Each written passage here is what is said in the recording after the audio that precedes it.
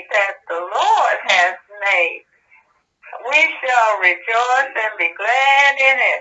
Hallelujah, hallelujah. To God be the glory for all the good things he's done in our lives. Hallelujah. Praise the Lord. Love you. And back to Chinatown again. They don't, you don't see no arrogance when you go out to Chinatown, do you? You don't see well, no you know what? trying to go ahead and make you be something. Go ahead, Jim.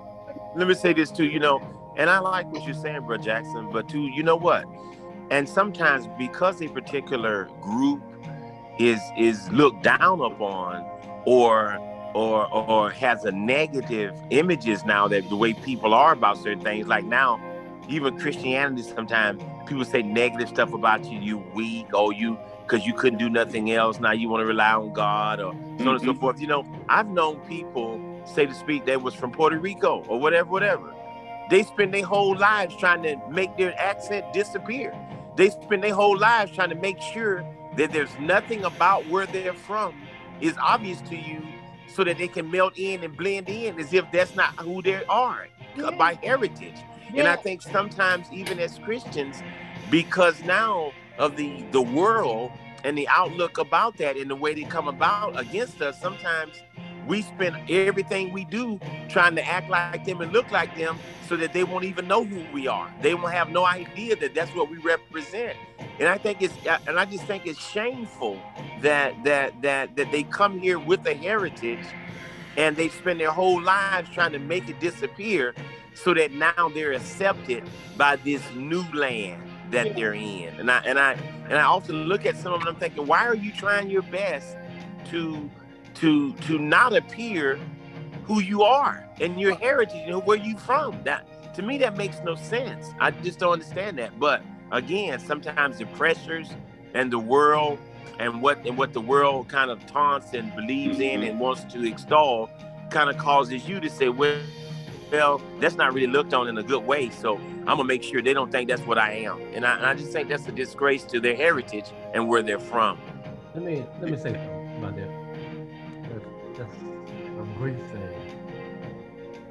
So so when you go in the bathroom in the morning and you look at the mirror and do whatever you do, uh, do you embrace what you see? Mm. Most games we freshen up a little bit. there you go. I, don't, I, don't I mean, do you accept, or a lot? do you accept what God has created when you look at yourself? Uh-huh. uh-huh. And you see, see, one of the things that we do, we're so shallow people. You see, it's so easy to have a form of God. Come on now. The church has done a marvelous job of creating a form of God. Yes, sir. Come on. But you see, until you can look in the mirror and rejoice because you realize that what you're looking at wasn't wasn't from a request. It wasn't because you you you you wanted to look a certain way. Come on. When God brought you here, He didn't insult you.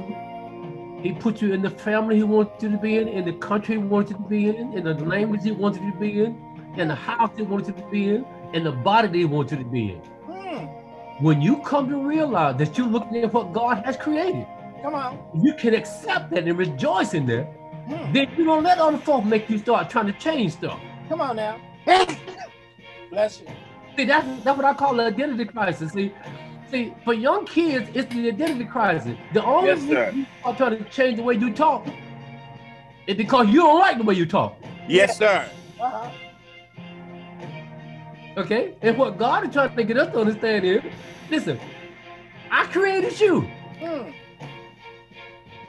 Now, listen, so when you start trying to change stuff, what you're actually doing is making a statement to God about, about the quality of his work. Woo! Uh-oh. Whoa. There, there, there is. For the time when it was not popular to be dark skinned in there. Uh-huh, uh-huh. Yep, yep, that's before y'all time, you see.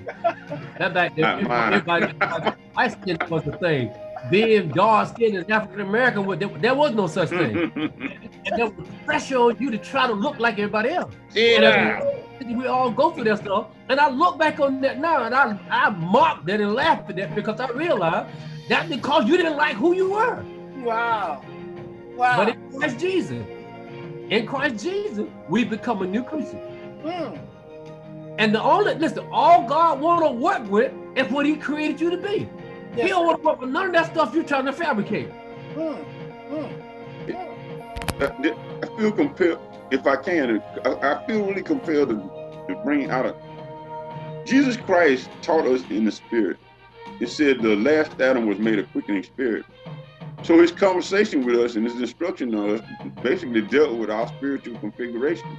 Yes, sir. Our, our initial, what can I say, uh, when he when he reconciled us with the Father, it was a spiritual reconciliation.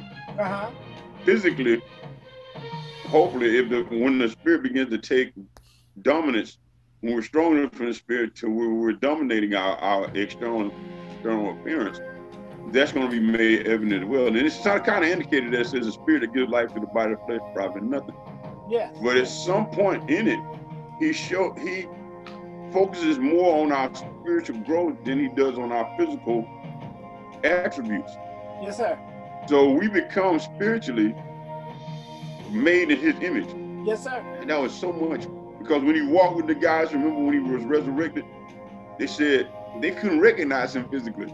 They didn't know who he was when he was walking with them. Come on, But man. when he left them, they said, Didn't our spirits burn within us? Yes, Hey, sir. we just that was just that was him. Yes, sir. And, and I think that that, that is where um, for us when when when, uh, when, when P. Lee was saying just a second ago that we are embarrassed by it. Mm. We are embarrassed when we submit to the will of God. Mm. Because to turn the other cheek in the world system is punkish. You know what I'm saying? It's like, hmm, that don't show strength. You can't be an alpha dog by turning the other cheek. You know? And- Yeah. And, and, and we come in conflict with ourselves. We come in conflict with, and I say this because I felt that. I felt uh, we come in conflict with our women. Mm.